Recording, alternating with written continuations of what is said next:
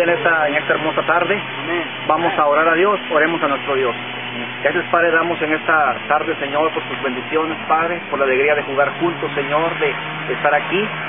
Sé con nosotros, Padre, en esta tarde, Señor, danos bendición, danos tu palabra, que lo que, que lo que hablemos, Padre, sea de acuerdo a tu voluntad. Sé con nosotros, en Cristo Jesús. Amén. Amén. Tomen sus lugares.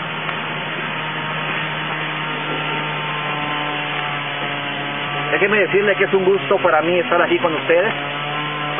Ah, agradezco su tiempo, su atención. Sé que estamos cansados y agotados.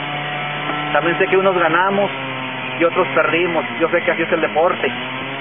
Pero creo yo que lo más importante es que hemos tenido el gusto de conocernos, el gusto de convivir, de saber que muchos somos cristianos ya y de compartir un momento agradable. Voy a invitarles a que abramos nuestras Biblias, los que traemos Biblia, ahí en 2 Timoteo capítulo 2.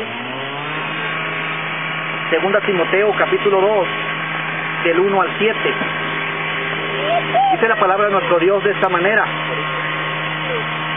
Tú pues, hijo mío, esfuérzate en la gracia que es en Cristo Jesús.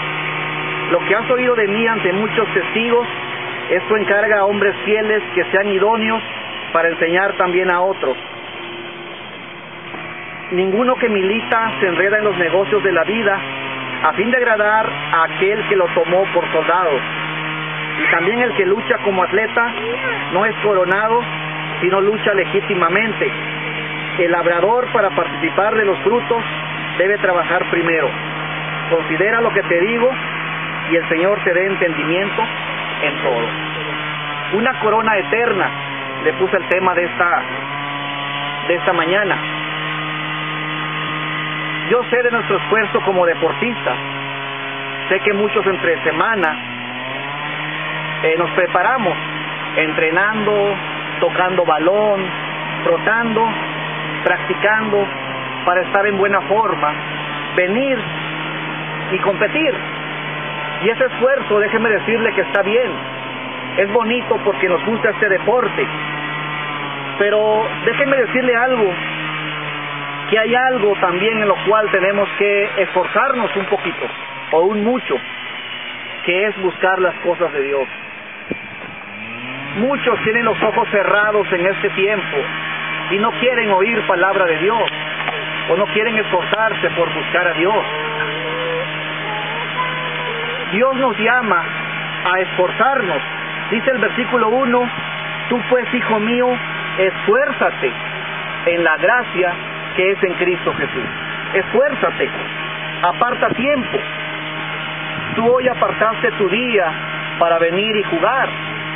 Yo sé que quizá madrugaste, te levantaste temprano, te preparaste, pero Dios te llama a que tengas el mismo esfuerzo por buscarle. El domingo haz el esfuerzo de ir a un templo, busca a Dios, haz un esfuerzo de estar en una reunión y oír palabra de Dios. ¿Se requiere esfuerzo? Sí, se requiere esfuerzo. Quizá han descansado porque hoy, hoy jugaste, pero hay que hacer un doble esfuerzo por venir y por buscar palabra de Dios, buscar las cosas de Dios. Dice la palabra de Dios en Proverbios 8:17, yo amo a los que me aman y me hallan los que temprano me buscan. Habla de una persona que de joven Dice, de temprano me buscan. A una edad joven vino y buscó de Dios. Vino y oyó de Dios. Y saben, como les digo y les repito, es un esfuerzo. Es un esfuerzo porque muchos van por la vida sin querer oír de Dios ya. Diciendo, vivo mi vida a mi manera, a mi forma. Pero saben, qué triste que van sin Dios y sin esperanza. Cuando sabemos que hay un Dios todopoderoso que puede cambiar tu vida para siempre. Sé, tú uno de ellos. Sé tú uno de ellos. Dice el versículo 5, y también el que lucha como atleta no es coronado, sino lucha legítimamente. La palabra atleta viene de la palabra griega atleo, que significa que expresa un esfuerzo y una determinación que se necesitan para convertir con éxito en un evento deportivo. De ahí viene la palabra atleta. Porque hace muchos, muchos años, allá por Atenas, ya habían Juegos Olímpicos, ya habían competencias deportivas. También estaban los Juegos del Istmo en la ciudad de Corinto. Ya había deporte desde aquel tiempo. Y yo digo, así con el empeño en que nos esforzamos pues en lo deportivo, con el mismo empeño busquemos de Dios. Démonos tiempo para leer la palabra de Dios, para venir y buscar de Dios. Yo pregunto, ¿cómo nos encontramos como personas delante de Dios? ¿Cómo estamos delante de Dios? ¿Cuántos ya le recibimos el en el corazón y cuántos aún no lo hemos hecho todavía?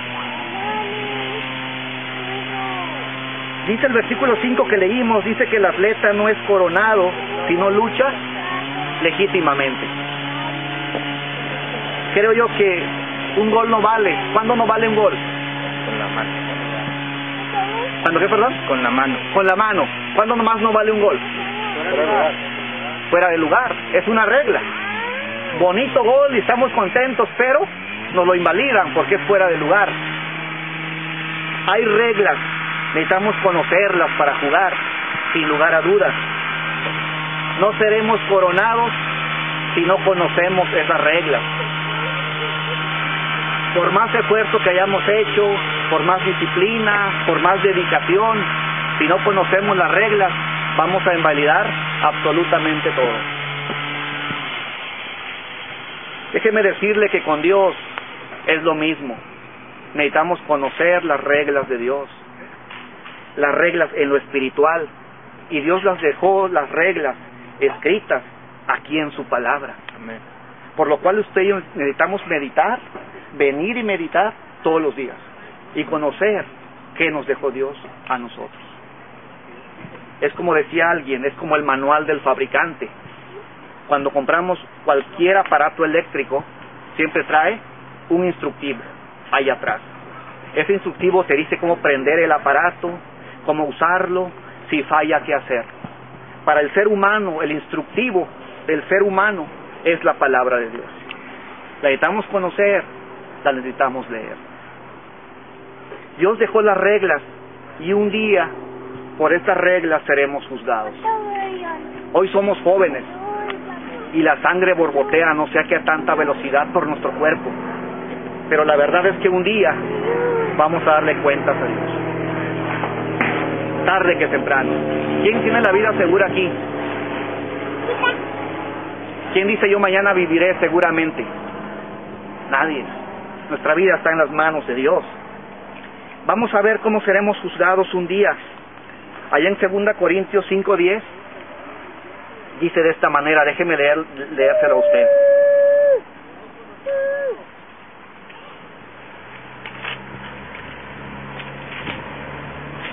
Dice la palabra de Dios en 2 Corintios 5:10, porque es necesario que todos comparezcamos ante el tribunal de Cristo, para que cada uno reciba según lo que haya hecho mientras estaba en el cuerpo, sea bueno o sea malo.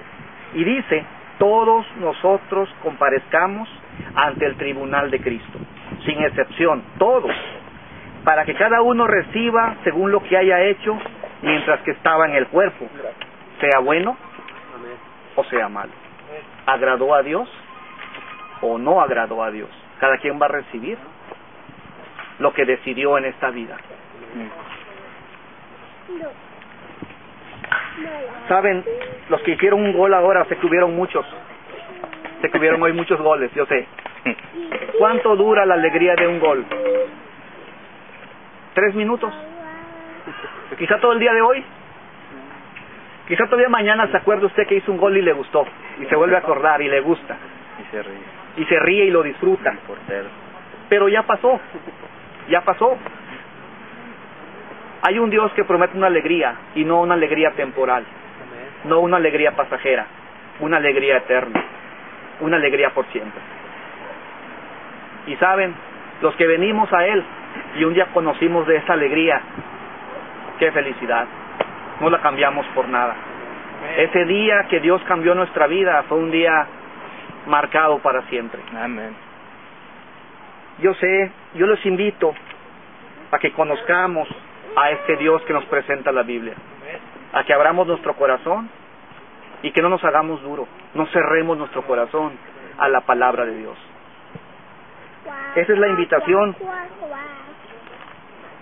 Hay una victoria, yo sé que hoy hubo una victoria, pero en Dios hay una victoria, una victoria que dura por siempre, una victoria eterna. Yo termino, quizás soy un poco breve, sé que estamos cansados jóvenes, pero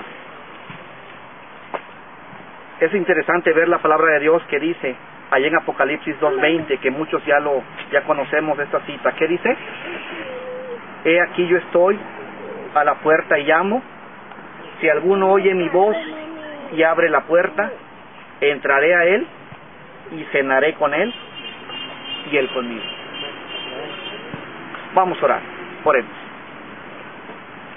Gracias damos Padre por tu palabra. Gracias Padre por la bendición de venir y escuchar tu palabra en esta hermosa tarde, Señor. Gracias Padre por el deseo de estar juntos y de convivir. Te rogamos Padre que tú toques nuestro corazón, que tú toques Padre el corazón del que aún no ha entregado su vida a ti. Toca ese corazón, Padre, habla esa vida, Señor, que cuando escuche tu palabra, Señor, haya deseos, Padre, de entregar su vida a ti. Yo pregunto en esta tarde, ¿hay alguien que quiere entregar su vida a Cristo? ¿Alguien que aún no lo ha hecho y que en esta tarde quiere entregar su vida al Señor?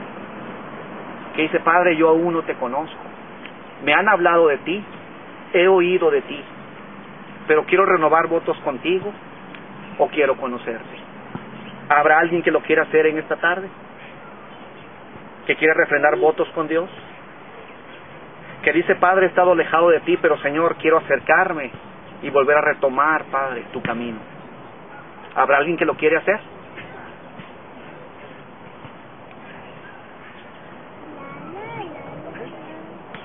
Si no es así, Dios añade bendición a su palabra. Hermano Rivera, por favor, llenos en oración, hermano. Vamos a orar con usted. Gracias, hermano.